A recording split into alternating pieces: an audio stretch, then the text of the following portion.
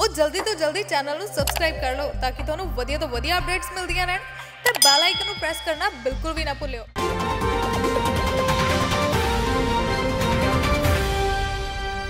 ਸਤਿ ਸ਼੍ਰੀ ਅਕਾਲ, ਤੁਸੀਂ ਦੇਖ ਰਹੇ ਹੋ ਚੈਨਲ ਸ਼ਾਨ ਪੰਜਾਬੀ ਲੋਜੀ ਅੱਜ ਅਸੀਂ ਗੱਲ ਕਰਨ ਜਾ ਰਹੇ ਹਾਂ ਪੰਜਾਬੀ ਐਕਟਰ ਦੇਵ ਖਰੋੜ ਦੇ ਬਾਰੇ। ਦੇਵ ਖਰੋੜ, ਜਿਨ੍ਹਾਂ ਦੀ ਨਵੀਂ ਫਿਲਮ ਡਾਕੂਆਂ ਦਾ ਮੁੰਡਾ 2 ਨੂੰ ਲੈ ਕੇ ਕਾਫੀ ਜ਼ਿਆਦਾ ਚਰਚਾ ਛਿੜੀ ਹੋਈ ਹੈ। ਦੇਵ ਖਰੋੜ ਦੀ ਪਹਿਲਾ ਫਿਲਮ ਆਈ ਸੀ ਡਾਕੂਆਂ ਦਾ ਮੁੰਡਾ, ਜਿਸ ਨੂੰ ਲੈ ਕੇ ਕਾਫੀ ਜ਼ਿਆਦਾ ਚਰਚਾ ਰਹੀ ਅਤੇ ਇਹ ਫਿਲਮ ਨੇ ਵੱਖਰੇ ਹੀ ਰਿਕਾਰਡ ਕਾਇਮ ਕੀਤੇ। ਅਤੇ ਇਸ ਫਿਲਮ ਨੂੰ ਬਹੁਤ ਜ਼ਿਆਦਾ ਪਸੰਦ ਕੀਤਾ ਗਿਆ ਅਤੇ ਸਭ ਨੂੰ ਇਹ ਸੀ ਕਿ ਡਾਕੂਆਂ ਦਾ ਮੁੰਡਾ ਵਰਗੀ ਇੱਕ ਹੋਰ ਫਿਲਮ ਜ਼ਰੂਰ ਆਣੀ ਚਾਹੀਦੀ ਹੈ। ਅਤੇ ਹੁਣ ਦੇਵ ਖਰੋੜ ਆਪਣੇ ਫੈਨਸ ਦੀ ਉਮੀਦ ਤੇ ਇੱਕ ਵਾਰ ਫਿਰ ਖਰੇ ਉਤਰੇ ਹਨ। ਦੇਵ ਖਰੋੜ ਨੇ ਡਾਕੂਆਂ ਦੇ ਮੁੰਡੇ ਵਰਗੀ ਫਿਲਮ ਹੀ ਨਹੀਂ, ਬਲਕਿ ਡਾਕੂਆਂ ਦਾ ਮੁੰਡਾ 2 ਫਿਲਮ ਦਾ ਹੀ ਐਲਾਨ ਕਰ ਦਿੱਤਾ ਸੀ ਕੁਝ ਸਮੇਂ ਪਹਿਲਾਂ, ਜਿਸ ਦਾ ਪੋਸਟਰ ਵੀ ਸਾਂਝਾ ਕੀਤਾ ਗਿਆ ਸੀ।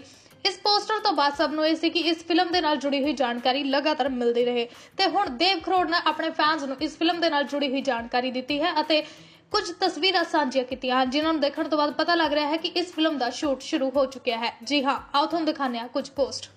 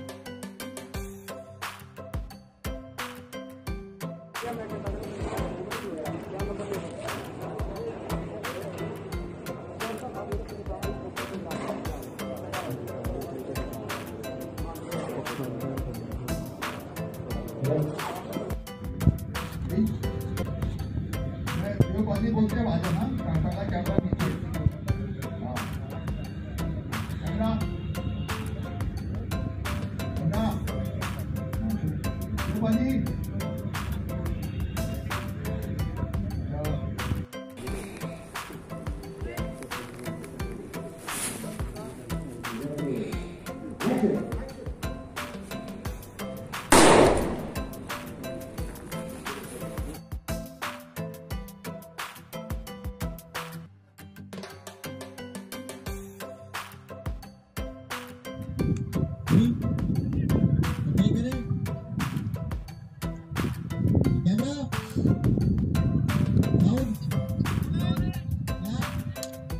マッチ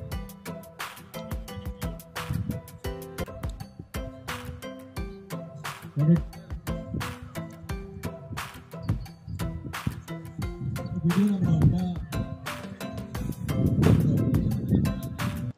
ਹਾਂ, ਇਹ ਦੇਵ ਖਰੋੜ ਦੀ ਨਵੀਂ ਫਿਲਮ ਦੀਆਂ ਕੁਝ ਤਸਵੀਰਾਂ। ਇਹਨਾਂ ਤਸਵੀਰਾਂ ਨੂੰ ਦੇਖਣ ਤੋਂ ਬਾਅਦ ਕਿਨਾਂ ਕਿਨਾਂ ਨੂੰ ਲੱਗਦਾ ਹੈ ਕਿ ਫਿਲਮ ਜਲਦੀ ਰਿਲੀਜ਼ ਹੋਣੀ ਚਾਹੀਦੀ ਹੈ ਅਤੇ ਕੌਣ-ਕੌਣ ਇਸ ਫਿਲਮ ਦਾ ਬੇਸਬਰੀ ਦੇ ਨਾਲ ਇੰਤਜ਼ਾਰ ਕਰ ਰਿਹਾ ਹੈ।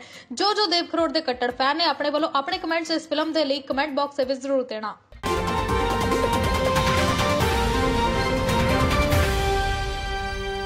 ਜਲਦੀ ਤੋਂ ਜਲਦੀ ਚੈਨਲ ਨੂੰ ਸਬਸਕ੍ਰਾਈਬ ਕਰ ਲਓ ਤਾਂ ਕਿ ਤੁਹਾਨੂੰ ਵਧੀਆ ਤੋਂ ਵਧੀਆ ਅਪਡੇਟਸ ਮਿਲਦੀਆਂ ਰਹਿਣ ਤੇ ਬੈਲ ਆਈਕਨ ਨੂੰ ਪ੍ਰੈਸ ਕਰਨਾ ਬਿਲਕੁਲ ਵੀ ਨਾ ਭੁੱਲਿਓ।